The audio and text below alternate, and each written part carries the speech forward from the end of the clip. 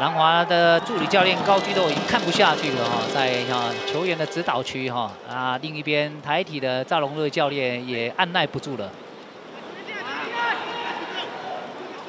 因为两边确实今天开赛，现在才将近十六分钟，就已经在禁区都创造两次以上的一个机会了。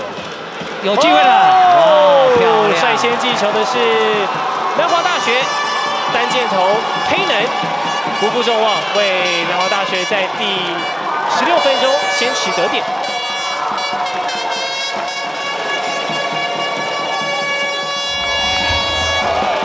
回顾这个球哈，你可以看到假动作过了胯下哈，也是相当的精彩。虽然身体的素质能够把它阻挡下来，但是可惜哈，没错，其他的一个防守的队员在那边看戏哈，没有去做适当的支援哈。